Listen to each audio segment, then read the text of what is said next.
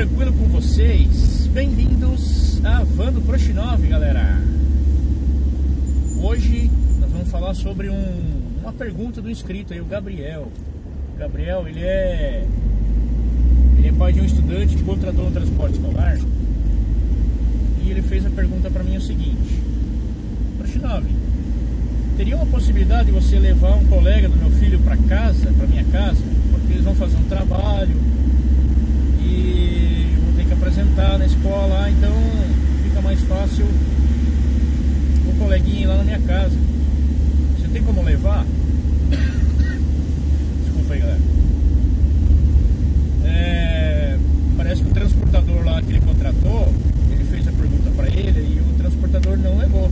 Falou, olha, não posso, porque quando eu faço contrato com você, eu tenho um seguro passageiro e se tiver algum sinistro, alguma situação no trânsito aí que é, caso algum aluno aí se machucar, né? Vamos supor que o coleguinha que você está levando junto aí, na van, se machuque numa situação de trânsito, e aí o transportador, ele falou que o seguro não cobre, né? Por esse motivo que ele não autorizou a levar o coleguinha para casa. Então, galera, cobre ou não cobre? Seguro cobre ou não cobre? Indeniza se caso se machucar? Galera, respondendo então aí o Gabriel, o seguro que você contrata o transporte escolar indeniza qualquer pessoa que esteja dentro do seu veículo, independente de ser contratado ou não. Qualquer pessoa que esteja dentro do veículo e aconteça qualquer coisa, o seguro cobre sim tá? Eu não sei se tem algumas regrinhas aí que é, isso depende muito de um transportador para outro, né? Tem gente que não gosta de levar um outro colega junto, né? Mas daí é questão pessoal.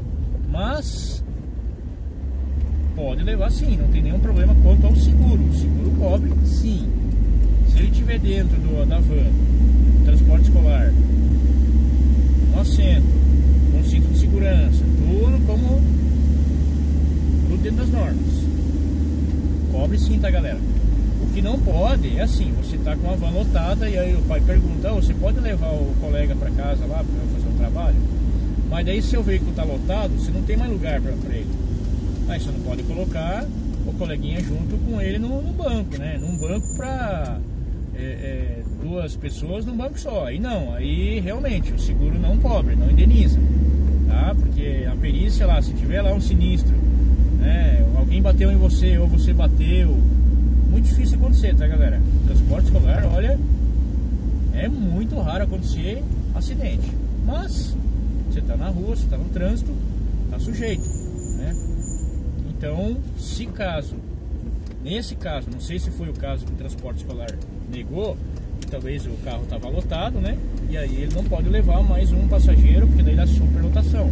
Aí realmente, galera, aí não pode não, tá? Porque daí o seguro pode não indenizar.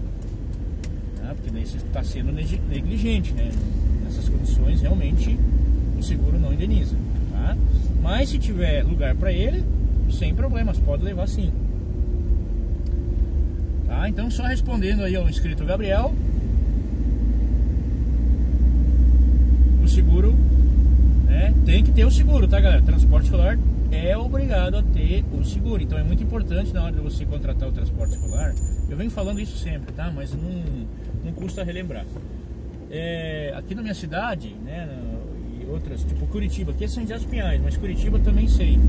Que tem ó, um adesivo que fica na lateral da van, que tem lá vistoriado, e lá tem a, a vigência, né?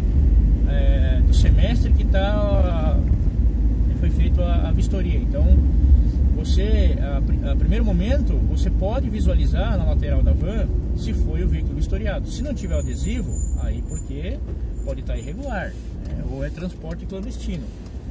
Tá, galera? Então, sempre, antes de contratar o transporte escolar, se certifique que é um veículo legalizado, tá, galera?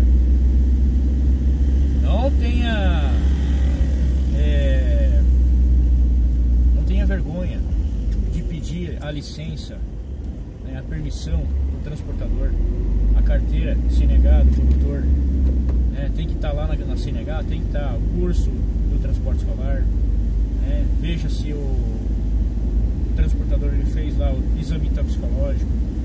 Enfim, galera, eu já falei para vocês em vídeos anteriores aí, antes de você contratar, tá? O seguro, ele é obrigatório, seguro para passageiro, tá? Então, então é isso aí, galera. É isso que eu vim falar para vocês hoje aí. Só respondendo a pergunta do Gabriel. Então, Gabriel, pode sim, tá? Sem problemas. Cinto de segurança, tudo certinho. Beleza? Então é isso aí, galera. Já estamos chegando aqui na minha casa. Acabei mais uma rota e hoje frio. Semana passada tava 30 graus, hoje tá 18. Olha a diferença, galera. Só estudante, a galerinha dentro da van, tudo ranhenta. Ainda bem que tem a máscara, né? É resfriado, é nariz correndo, é tosse. É isso aí, não tem organismo que resista à mudança de clima aí, né, galera? 30 graus para 18 aí é uma diferença considerável. Né? Com chuvinha com vento ainda, nossa. Vontade de ficar em casa é, é grande, né? Mas Beleza então, galera? Para quem é novo no canal aí, se inscreva no canal, ative o sininho das notificações. Se gostou do conteúdo e foi útil, deixa aquele like, compartilhe com seus amigos. Transporte escolar. Informações e observações diárias. Muitas dicas. Minha experiência em transporte escolar aí toda semana aí, galera. Achei legal botar esse conteúdo aí porque tem dúvidas aí de, de muitos transportadores. E também muitos pais, eles ficam receosos às vezes de perguntar para o transportador, oh, você pode levar meu filho lá? Eu falei, posso, não tem problema não.